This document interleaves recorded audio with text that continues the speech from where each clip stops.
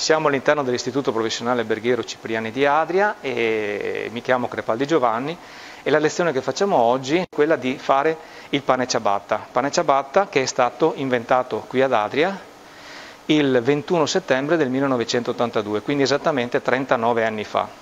Quello che avete davanti a voi in questo momento che stiamo riprendendo è la biga, la biga che ha rinfrescato, anzi che ha maturato per eh, 18 ore, 18-20 ore. E poi accanto alla biga abbiamo gli ingredienti che andremo ad aggiungere, che sono il malto, si può sostituire con lo zucchero tranquillamente, il sale, la farina, come diceva la ricetta originale di Cavallari, in cui si aggiungeva una parte di farina fresca il giorno del rinfresco, e l'acqua. Ok, L'operazione che farò adesso sarà questa, quella di introdurre la biga all'interno dell'impastatrice e quando avrò aggiunto la biga nell'impastatrice inizierò ad aggiungere tutti i vari ingredienti. Il lavoro durerà 15 minuti e in questi 15 minuti vi parlerò un po' della storia di Cavallari e del perché siamo arrivati a, nel 2021 a fare un pane che ha 39 anni di vita ma che in realtà è un pane conosciuto in tantissimi paesi del mondo.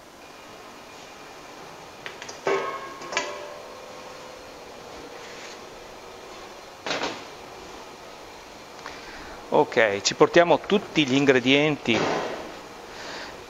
vicino alla macchina.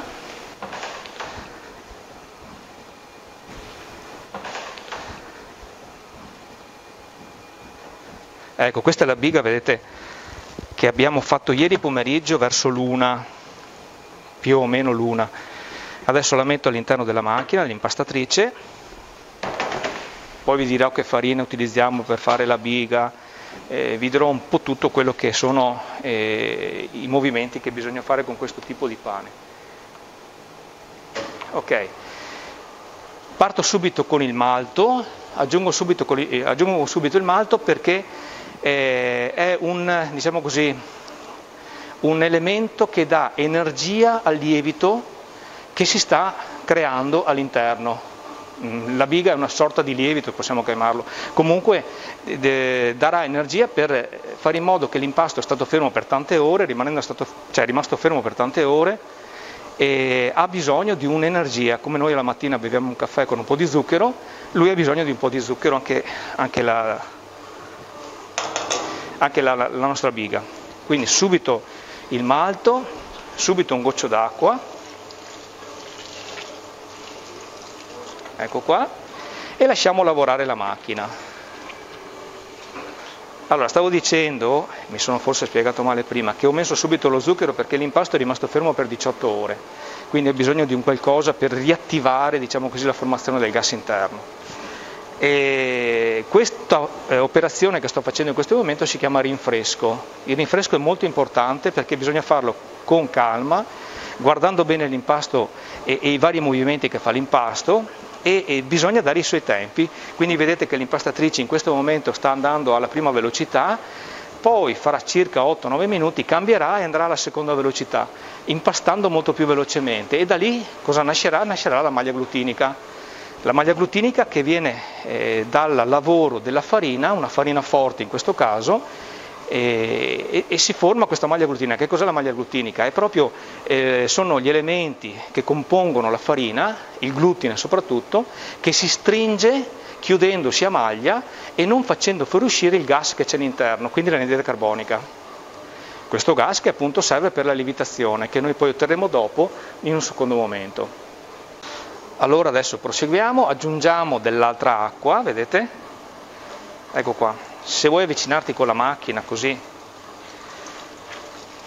si vede poi pian pianino diciamo così la formazione dell'impasto la formazione dell'impasto che deve essere fatto molto lentamente come nasce questa ricetta? Allora nasce innanzitutto qui ad Adria, abbiamo detto 39 anni fa, grazie ad Arnaldo Cavallari, ma in che maniera? Lui inizialmente era mugnaio, quindi riceve dai genitori, dal papà e dalla mamma, un mulino, il mulino adriese, raccoglieva le farine dai vari eh, produttori di grano intorno al nostro comune, portava queste farine al mulino e, e c'è anche un aneddoto in questo periodo che in quel momento lì, mentre lui guidava un furgoncino, in mezzo ai campi sterrati, eh, imparò anche a guidare le auto da rallye, appunto perché girando nei campi sterrati con le macchine e con i pesi dietro al furgoncino, la macchina non era tanto stabile, ma lui con la sua abilità eh, riusciva a portare la farina al mulino.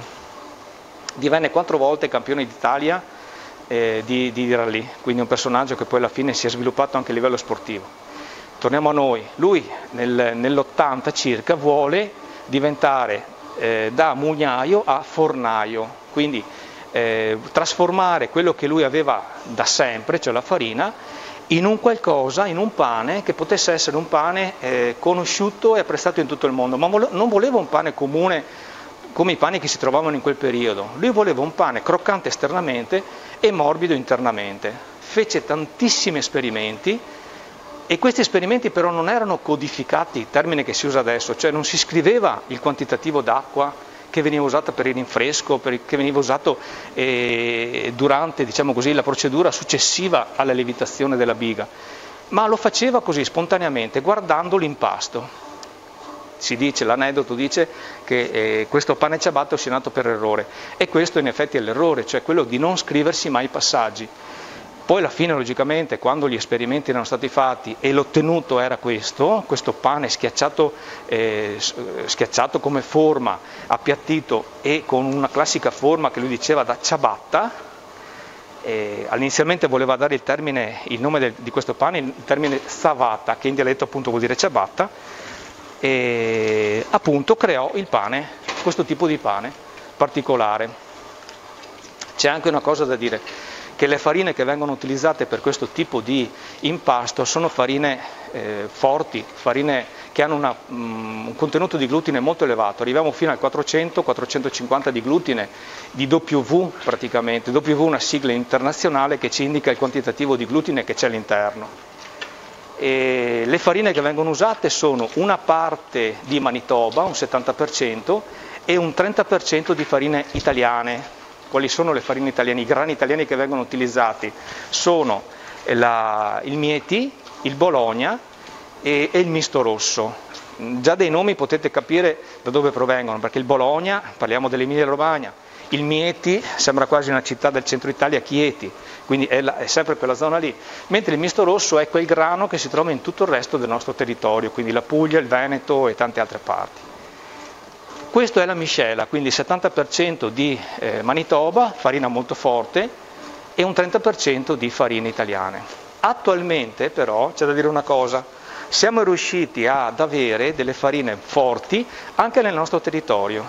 Qui nella zona del Basso Polesine e nella zona del Medio Polesine ci sono delle, diciamo così, dei, delle produzioni di farina forte con i quali stiamo facendo degli esperimenti e con i quali riusciamo a ottenere degli ottimi risultati. Come risultato parlo di ciabatta, quindi seguendo la ricetta del dottor Arnaldo Cavallari siamo riusciti a ottenere un pane uguale a quello che faceva il dottor Cavallari, senza cambiare la ricetta, utilizzando sempre gli stessi ingredienti.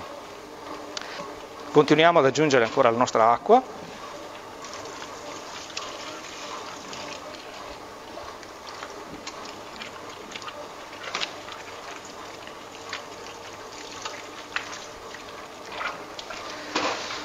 Ecco qua, la tradizione vuole che eh, il dottor Cavallari quando eh, ha inventato questo tipo di pane lo facesse conoscere a tutti, quindi inizialmente eh, ha cercato di coinvolgere tutti i, i fornai de, della zona di Adria ma anche dei paesi, dei paesi limitrofi.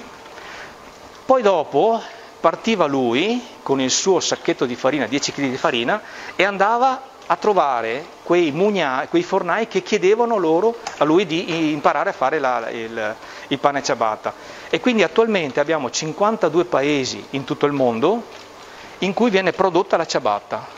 Per paesi in tutto il mondo intendo dire paesi che si trovano in Africa, paesi che si trovano in America, tutta l'Europa e tutta l'Italia, 52 in totali. All'interno poi logicamente dopo si è espansa a macchia d'olio, dove c'era un forno che faceva la pane ciabatta, pian pianino altri forni hanno voluto imparare a fare questo pane. È un pane particolare perché è un pane croccante esternamente con una crosta molto fina, poi dopo alla fine vedremo anche la cottura, e all'interno c'è un'alveolatura, un'alveolatura molto particolare perché deve essere un'alveolatura espansa e rotonda, non deve essere un pane fitto, ma comunque molto gonfio d'aria. Ed è appunto questa la particolarità di questa ricetta, croccante esternamente e morbido internamente.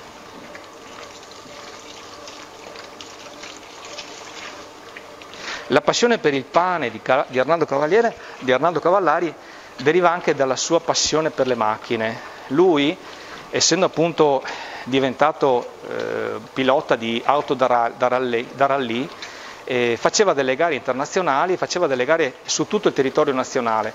Quando finiva le gare si fermava nelle soste che doveva fare per i periodi di sosta tra un giorno e l'altro si trovava con gli altri piloti e lì logicamente scambiavano idee, scambiavano pareri, ma non solo sui motori e sulle macchine, anche su altre cose. La sua passione, ripeto, era quella del pane e quindi chiedeva di conoscere il pane nel posto in cui si trovava.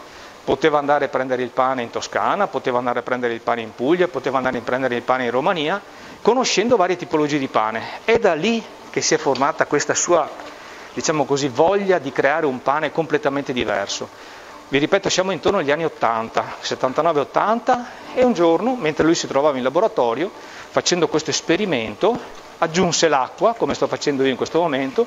Io ho una carafa centigradata, lui non aveva una carafa centigradata, aveva una carafa normale, ma senza pian pianino formando.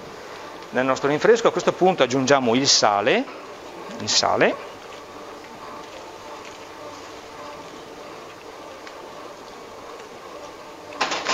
aggiungiamo ancora un goccio d'acqua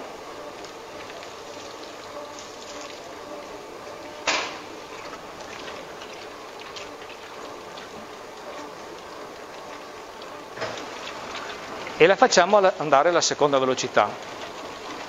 Ecco, se riuscite a vedere la macchina che sta lavorando, noterete che l'impasto è ancora molto grezzo, è tutto frastagliato, non ha una costituzione liscia omogenea, come deve essere quella del pane, nella formazione dell'impasto è importante che la ciotola rimanga completamente pulita, non ci siano pezzi di pasta che si incollino alla ciotola, che potrebbero rovinare poi logicamente l'impasto. Ecco, vedete, io quando insegno ai miei ragazzi dico che l'impasto che state guardando deve assomigliare a una zucca mantovana o comunque la forma di una zucca, vedete tutti i vari, eccoli qua, tutti i vari eh, diciamo così, eh, sezioni che ha la zucca, soprattutto quella gialla che in questo periodo si trova anche nei mercati, vedete? e la pasta colpendo l'asse centrale, la, eh, l'asse centrale d'acciaio, si straccia facendo un filo. Quando quel filo diventerà lungo, la maglia, la maglia glutinica si è formata e quindi l'impasto è pronto per essere messo in puntatura. Che cos'è la puntatura? La puntatura è un momento in cui la pasta riposa e si gonfia, quindi aumenta di volume e c'è la formazione del gas. Okay? Il, la puntatura dura circa 40 minuti all'incirca, può variare in base alle temperature atmosferiche, se c'è una giornata fredda possiamo dare un quarto d'ora in più, se c'è una giornata calda dovete tirare via un po' di tempo, quindi anche 35, 40, comunque 35 minuti sono sufficienti. Ok, aggiungiamo ancora un po' d'acqua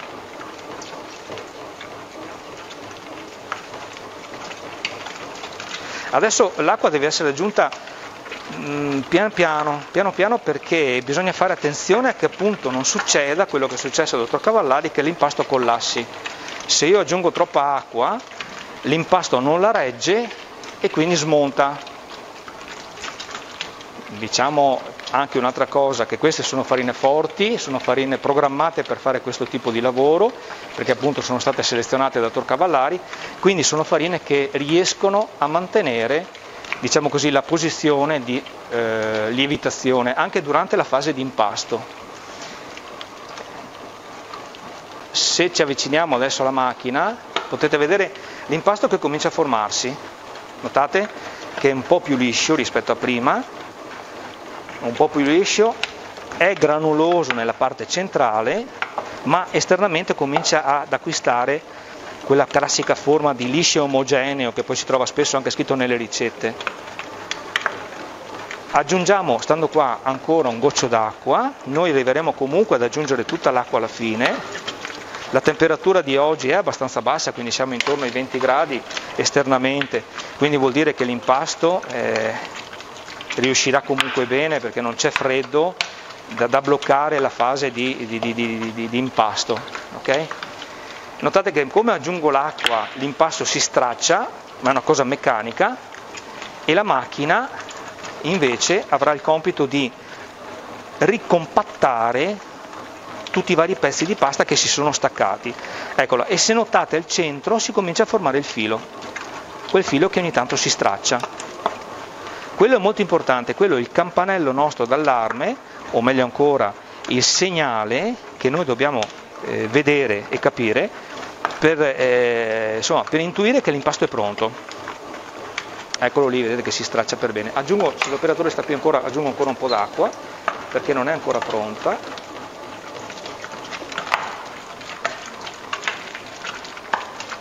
eccolo qua, vedete la zucca mantovana, eh? la forma di una zucca. Queste sono frasi che mi diceva Cavallari, mi diceva sempre quando stavamo in laboratorio, eh, nel suo laboratorio sperimentale, deve essere come una zucca, liscia ed omogenea, non si deve attaccare alle pareti, essere bella filosa, bella bianca, quasi, quasi una, un, un panetto di burro montato, per far capire magari ai più profani, a quelli che non se ne intendono di questo tipo di impasto. Ecco, l'acqua è stata aggiunta tutta, il sale l'abbiamo messo, terminiamo adesso la fase di eh, creazione della maglia glutinica, che è molto importante, e poi la passeremo in puntatura.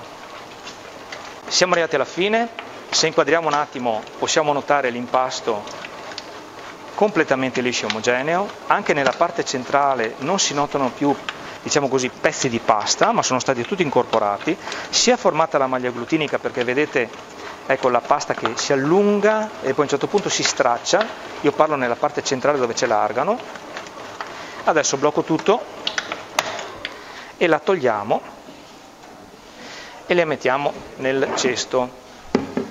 Uso la stessa tecnica che usava il dottor Cavallari, cioè si bagnava le mani in questa maniera, metteva un goccio d'acqua nell'impasto, ma pochissima, con una paletta d'acciaio tagliava, non con un coltello, una paletta, tagliava il pezzo di pasta e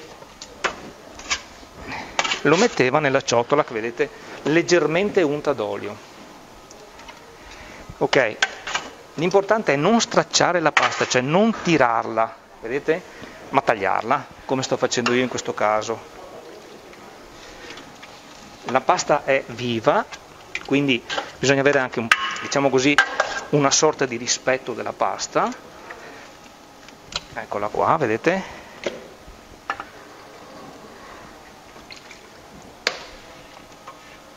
Ci siamo quasi. Eccola qua, adesso noi la mettiamo in questa ciotola per farla riposare vi ho detto 40 minuti, si chiama puntatura. La puntatura viene fatta dai fornai appunto per fare in modo che l'impasto intanto si rilassi dallo stress subito con, l'impasta, con l'impastatrice.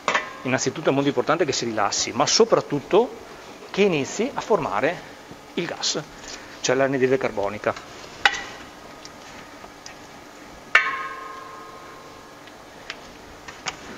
eccolo qua adesso la Silvia mi dà una mano. Lo mettiamo sopra qui. Questo è l'impasto che vedete? Vi faccio notare una cosa già cominciano a nascere le bolle quelle qua le vedete? Ok adesso io giro un attimino l'impasto in questa maniera prendendo gli angoli e portandoli verso il centro. Eccolo qua, lo copriamo e lo lasciamo 40 minuti a riposare vicino a una fonte di calore.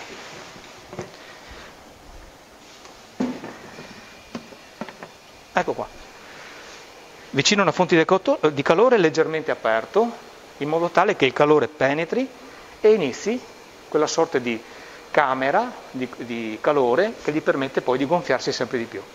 Dopo vedremo alla fine dei 40 minuti l'impasto che verrà rovesciato sul tavolo.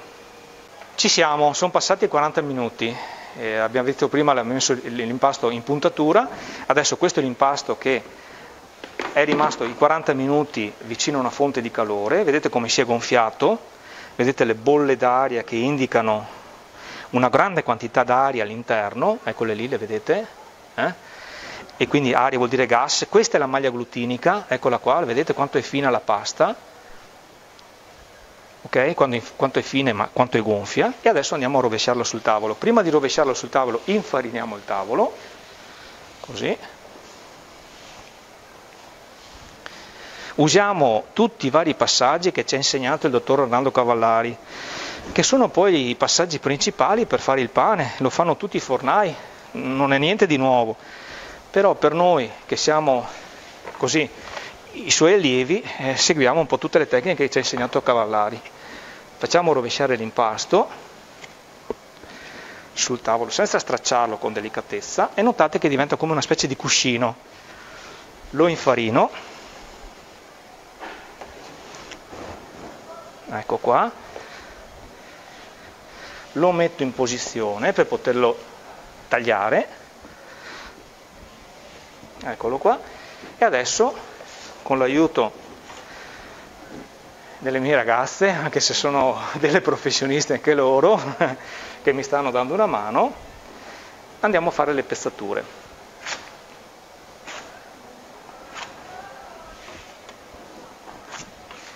Io lo passo a loro e loro lo andranno a mettere sul telo da lievitazione.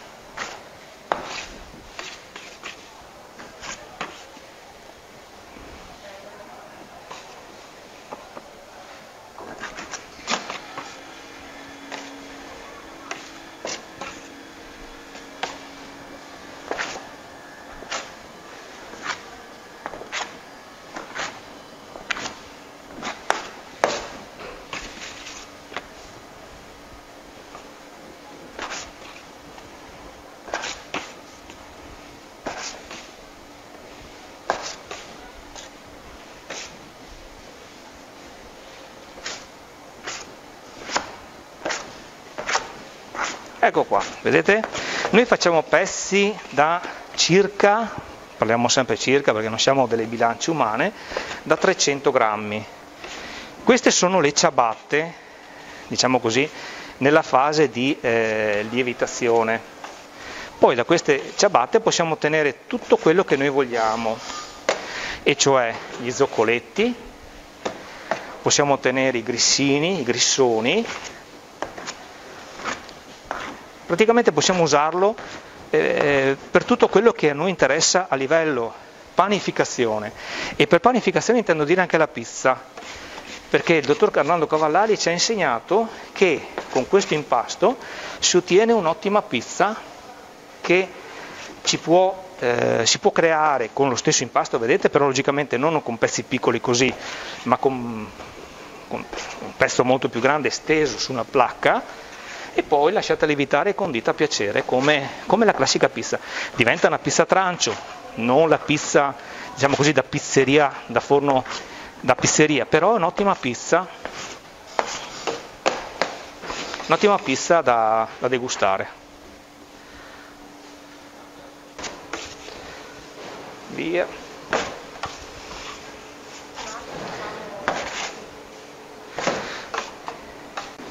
Adesso con alcuni pezzi di pasta ciabatta eh, ancora cruda facciamo dei grissoni. Cosa vuol dire grissoni?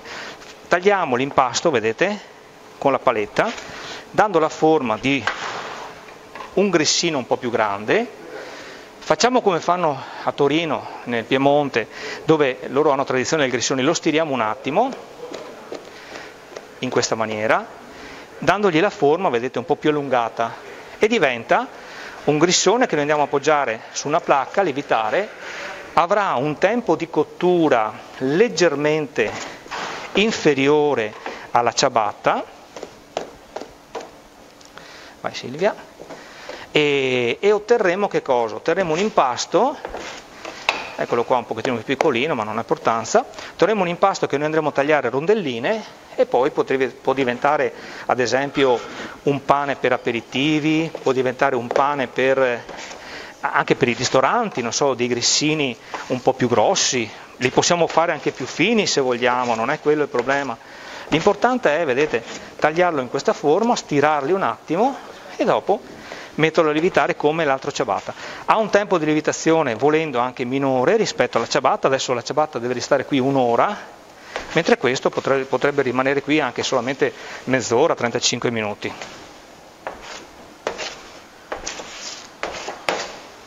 Sono passate circa 60 minuti, quindi l'ora che avevo detto di lievitazione sui teli di lino, questi qua che vedete. Adesso il pane è ora di infornarlo. Per infornarlo anche qua c'è una tecnica che ci ha insegnato Cavallari, che è una tecnica semplicissima, che è quello innanzitutto di girare il pane all'opposto, cioè se questa era la posizione della lievitazione, questa sarà la posizione della cottura. Si prende il pane, e lo mettiamo sopra al telo, in questa maniera.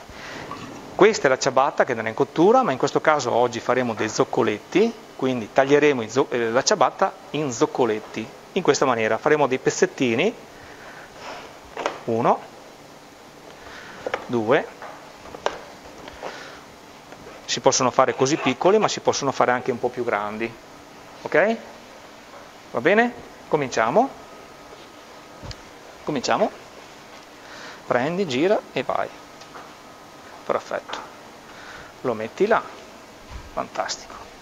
Tutti quanti a rotazione adesso, via.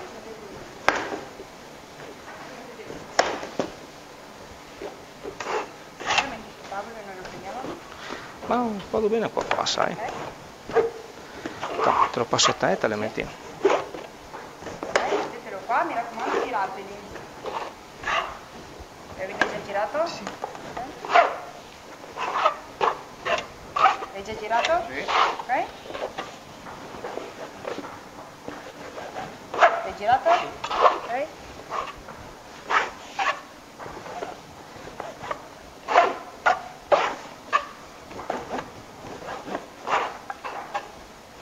Vai Silvia qua.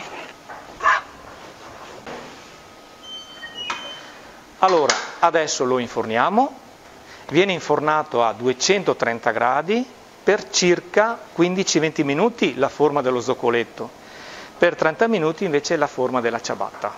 Okay? Con la Silvia prendiamo il telo di infornamento,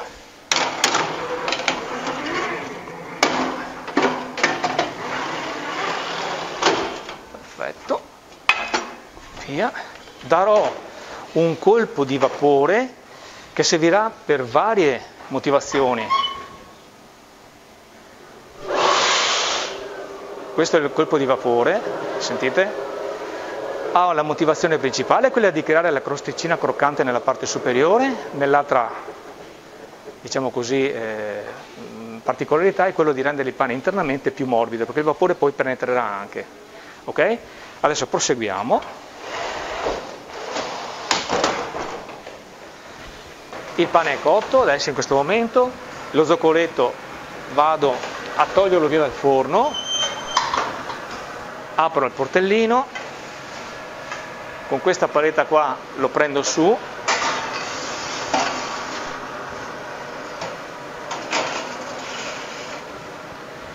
e questo è lo zoccoletto che abbiamo fatto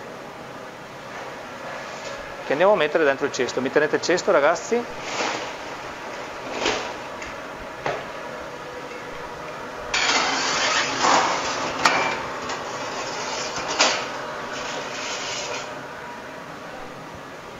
Eccolo qua.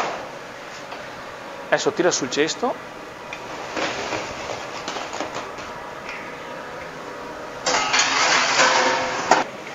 E questi sono gli zoccoletti fatti con la ciabatta fatti con la ricetta di ciabatta della ciabatta di Arnaldo Cavallari. Avete visto che se metto insieme i tre pezzi diventa la classica ciabatta di Arnaldo Cavallari. Benissimo, spero di essere stato chiaro che abbiate capito tutto quello che è stato fatto in questa, in questa oretta che abbiamo passato assieme e arrivederci dalla scuola alberghiera Giuseppe Cipriani.